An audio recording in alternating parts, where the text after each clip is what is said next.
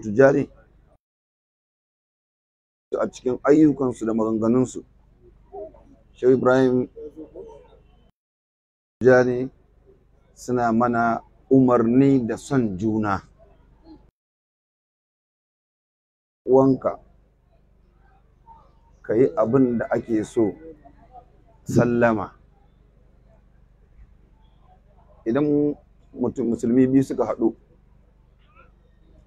suka yi sallama wanda ya fara cewa assalamu alaikum. Wasu sun ce akwai lada goma a cikin sallama. Wasu kuma suka ce akwai lada ɗari. Wanda ya fara cewa assalamu alaikum to shi za a bawa tara. Wanda ya amsa a bashi ɗaya. Ko kuma in ɗarin ne wanda ya fara shi za a bawa casa'in. Wanda ya amsa a bashi goma. Don haka sai na abubakar aka ce idan suka haɗu da shi da sahabbai sai ya shiru. Sai ya shiru sai ka fara masa sallama sannan zai amsa. Har aka faɗa rasulullahi. Ce ya rasulullahi idan muka gama da sai na abubakar sai ya shiru ba zai mana ba zai sallama ba sai mu ne za mu yi masa sallama. Sai manzala ya tambaye su na sai da abubakar ya ce abin da abin da sahabbai suka faɗa? Sai ce eh. Ni na zaɓi su samu lada tara ni in samu ɗaya. Me kenan? Isari kenan. Wanda ya zaɓi sahabi ya samu lada tara shi a bashi goma. Shi a bashi goma. Dama sufofinsu ne inda an fusihim walau kana bihim hasasa ko da suna da buƙata tana da buƙata a abu. Su sahabban annabi suna zaɓin ƴan uwansu akai to mu mu zama masu zaɓin ƴan uwanmu akan aikin alkhairi. In ka gama da ɗan uwanka ku gaisa ku saki fuska shine abin da gaisuwa ta ta amsa ta, ta, kunsa amma ba ɗan uwanka ɗan tijjaniya ɗan faira salamu alaikum ka kalli nan to gaisuwa bata babu babu lada.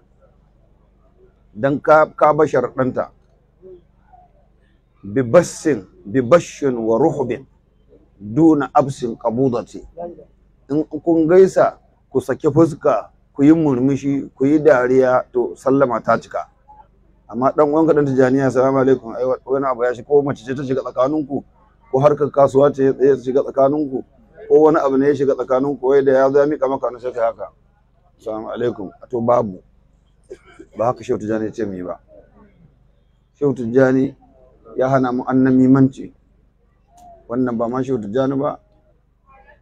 Musulunci gaba ki ɗaya hana annamimanci me annamimanci ka ɗauko magana wa'ancan ka kai ka kai wa wa'annan shi ake cewa annamimanci shehu tijjani ya hana mu wannan. Shehu tijjani ya ce mu taimaki ƴan uwanmu wa wasu zawi faƙarin bila mannin au azan idan ɗan uwanka ya zo da buƙata har kana da abin da za ka taimake shi to ka taimake shi. Haka shehu tijjani ya ce kar ka zama kamar abin da nabi isa alayhi salam ya ce. Nabi isa ya ce da jama'arsa al'ummarsa shin da za ku zo ku da mutum yana bacci sai iska ta yaye tufafinsa sai ya tsirara? Ya za ku yi? Sai ka ce a ya annabin Allah ai muka ga ka sai mu ɗauki riga sai mu rufe al'aura sai annabi isa ya ce a ba haka za ku yi ba. A idan kuka tadda shi yana bacci iska ta kware mai riga to ƙara yaye rigar za ku yi. Sai suka ce ah ya annabin Allah ya haka? Ya ce ah to mutum ne ya zo wurinka neman taimako daga kai sai shi sai Allah ya roƙe ka wata buƙatarsa. Kana da abin da zaka biya buƙatar nan tashi baka biya ba. Ya fita da wannan baƙin ciki na taimako da ya zo wurinka baka bashi ba. Bayan ya tafi sai wani ya shigo wurinka. Wani na shigowa wurinka sai ka ce masa ka gamu da wani a hanya. Sai ce ah na ko gamu da shi nan ba nisa. Sai ka fara gaya masa. Ka ji abin da ya zo. Wai zuwa ya yi wai yana so in mai kaza yana so in mai kaza. La haula wala quwwata illa kar mi haka. Wallahu fi auni al-abdi ma dama al-abdu fi auni akhihi. In baka taimake shi ba baka bashi ba to ka ƙyale shi da bakin cikin da yake ciki. Kar ka tona masa asiri. Man satara musliman satarahu Allah fi dunya wal akhirah. Duk wanda ya suturta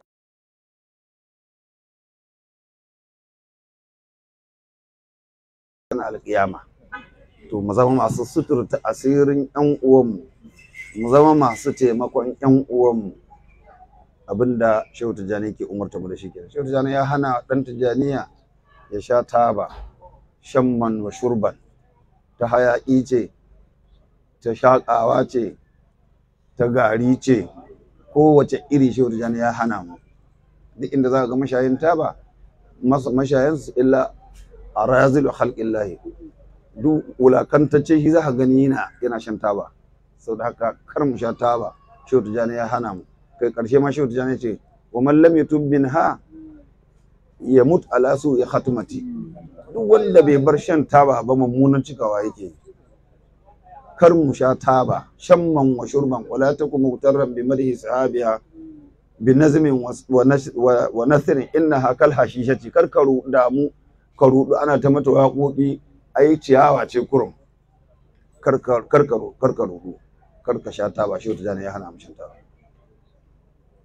Yana daga cikin wasiyoyin shehu tijjani mu girmama dukkan muƙaddami na shehu tijjani. Daga cikin wasiyoyin shehu tijjani mu girmama dukkan khalifa na shehu tijjani. Karka ce wannan shehi ba shi ya baka ɗariƙa ba. Karka ce wannan halifa ba shi ya baka ba shi ya baka ɗariƙa ba. Dukkan su fa wakilan shehu tijjani ne. Saboda wala budda min taqdimi kulli khalifatin ko kulli muqaddamin. Haka haka haka me ya udul me ya udul wala wala budda min ta'zimi kulli muqaddamin ko wa kulli khalifatin min insin wa jinnati. Duk wanda aka ce wannan halifa shi girmama kar ka wulaƙanta shi. In ka wulaƙanta shi ka wulaƙanta shi. Kulli ashabika la yuzuni. Manzo Allah ya ce da Shehu Tijani ka faɗa sahabbanka almajiranka yan Tijaniya kar su cuce ni. Shehu Tijani ya mamaki. Yanzu yan Tijaniya za su cuci manzon Allah. Yaya almajirai na za su cuce ka ya Rasulullah? Yace bi izayati ba'dihim ba'dan. Idan muna cutar junanmu to muna cutar manzon Allah ne. Shi ya ce ashabuka ashabi ko? wa fuqara'uka fuqara'i wa talamizuka talamizi. In kana cuta almajiran shehu tijani kana cutan manzon Allah.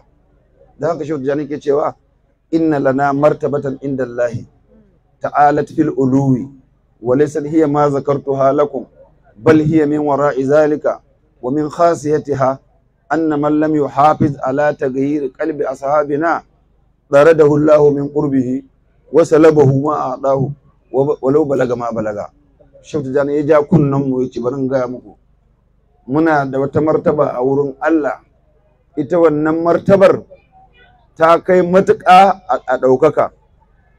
Amma ba fa wadda na gaya muku ce. Tana daga bayan martabobin da ban gaya muku ba. To ita wannan martaba tana da hasiyoyi. Yana daga cikin hasiyoyin wannan martaba tamu in ji shehu tijjani wanda duk bai kiyaye ɓata ran ɗan ɗariƙar tijjaniya ba. Aikinsa kenan ya je ɓata wancan aikinsa kenan ya je ɓata wannan aikinsa kenan ya je ɓata wancan. Shehu tijjani ya ce to tsare da hullahu min qurbihi. Abinda Allah zai fara masa zai kore shi daga kusancinsa. Komai kusancin ga Allah in aikin ka kenan sai kore ka daga kusancinsa. Wasa labahu mimma adahu in Allah ya baka ma wani matsayi ne wani mukami ne a sanin Allah sai Allah ya ƙwace wannan abu. Ko da irin matsayi ka kai a wilaya ko dai haka kake to Allah a shautu jana ce ga abin da Allah zai maka. To sadaka mu kiyaye mu girmama shehunanmu mu girmama malamanmu mu girmama khalifofinmu mu girmama muqaddamanmu. An ji ko? Wannan umarnin shautu jana kenan. Kai kuma muqaddami fa kai ma akwai abin da shautu jana ya faɗa maka. Shautu jana abin da ya faɗa ga muqaddamai ya ce musu ina muku wasiya da raf'ul himmati amma fi aidil ikhwani mu'taqidan anna Allah huwa al-mu'ti wal mani'u wal hafiz wal rafi'u. Kai muqaddami barin hannun abin muri hannun abin da ke hannun muridanka. Kar ka sa ido ga abin da ke hannunsu. Waye ya ba su? Allah ne ya ba su. Waye ya sanar da su Allah ba? Kai Allah kai ka sanar da su Allah ba? To ka koma wurin Allah man da ya ba su kai ma ya baka kar ka sa ido a abin hannun muridanka. Ka kudurce cewa Allah shi ke bayarwa. In baka samu ba Allah ne bai baka ba. In ka samu Allah ne ya baka in ɗaukaka ce Allah ke bayarwa. In kaskantarwa ne Allah ke kaskantarwa yu'izzu man yasha wa yuzillu man yasha bi yadikal khayr ko? Ka kiyaye. In ba haka ba in ka ce baka da komai sai zura ido ga hannun muridai kamar yadda muka faɗa jiya. Sai halifa ya zama custom an san custom ka san inda ga custom sun tare wuri me suke nema? Haraji.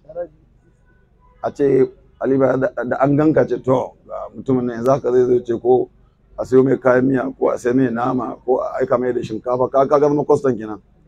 Ka san ko da an ga custom ya ake ai za ka yi hanya ake ko? To kar kar mu yadda mu zama custom saboda haka mu kiyaye abin aikin muri shehi wannan na shehi kenan na ɗaya na faɗa. Aiki na shehu ko ko khalifa daidaita tsakanin yan uwa da yan uwa. Wa islahu zatul baini lillahi qasidan. In abu ya faru tsakanin yan uwa ba hura wuta za ka yi ba kai da kake halifa ko kake muqaddim a gyarawa ake yi. Haka aikin shehu tijani yake. A shiga a gyara. Wani ɗa'ifata ne mai nomina fitalu fa aslihu bainahuma haka Allah ya ce. In aka samu baraka to gyara ta ake ba ɓatawa ake yi ba. Idan muƙaddami ko khalifa ya zama shi ke rura wata abu to mai gyarawa ya zama shi ke ɓatawa ina abu zai gyaru? Ba zai gyaru ba. Idza kana rabbul baiti biddufi dariban fashimatu ahlil baiti kullihim raqasu.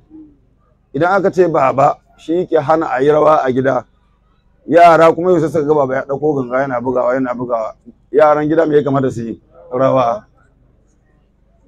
To sadaka babba gyara abu yake yi ba batawa yake yi ba. An fahimta ko? Saboda haka irin wato umarnin da shehu tijjani ke ba mu da wa'annan abubuwan za mu ɗaure soyayyarmu da shehu tijjani. Mu bi abubuwan da ya ce mana mu aikata mu bar abubuwan da ya hana mu mu bar su. To in muka yi haka mun ɗaure soyayyarmu da da shehu tijjani. Mu dinga ziyartar yan uwa dan Allah. Mu dinga taimakon yan uwa dan Allah. A gani ko? Idan mu yi tarayya tarayya da yan uwan ma'ana in abin alkhairi ya samu dan uwanka ka je ka taya shi murna. Idan abun bakin ciki ya samu dan uwanka ka je ka taya shi bakin ciki. Idan dan uwanka baya da lafiya ka je ka ziyarce shi. Wannan shine yan uwantaka. Ku yi tarayya da yan uwa a cikin daɗi ku yi tarayya da yan uwa a cikin wuya.